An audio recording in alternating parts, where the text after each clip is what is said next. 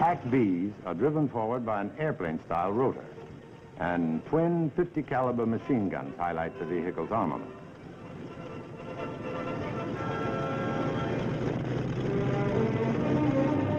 Nearby, armed helicopters take off to help support the PAC-V surface operations.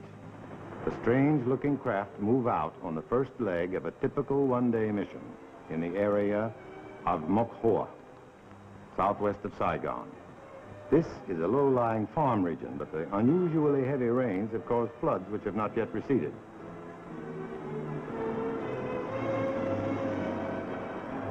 The craft can travel over both land and water at speeds up to 60 miles an hour.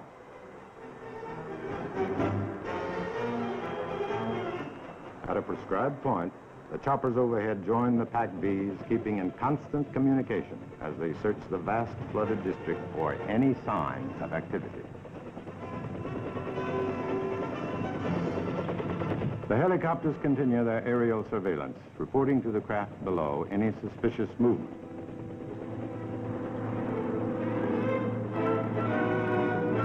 Soon, an unidentified boat is discovered, and a PAC-V races to intercept.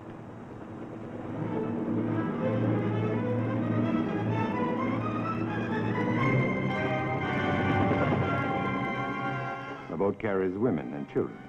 The refugees report that the Viet Cong have taken their possessions and are now using their house as a stronghold.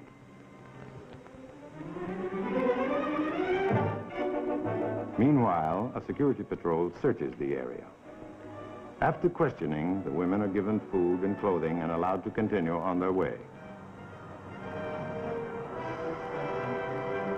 The PAC-Vs alert the helicopters and together they speed across the trackless marshes for the hunt.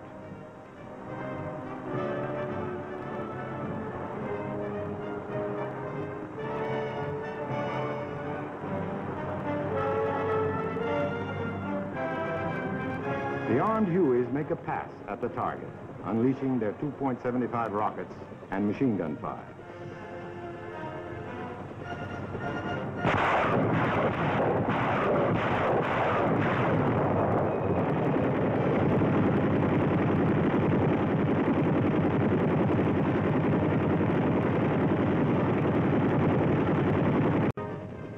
Then the copters radio the PAC-Vs to move in closer with their 50 caliber machine guns, ringing the enemy stronghold with their firepower.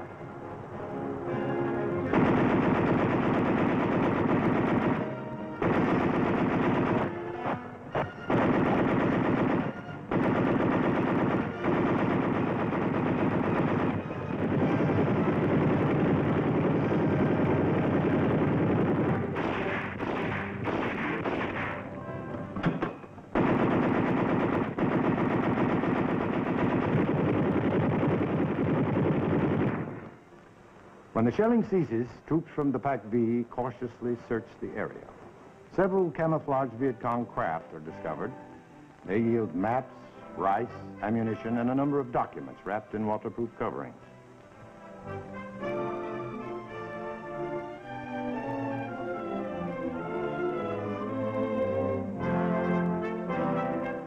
Another operation concludes successfully, as a new air and water patrol technique is used effectively to seek out the enemy.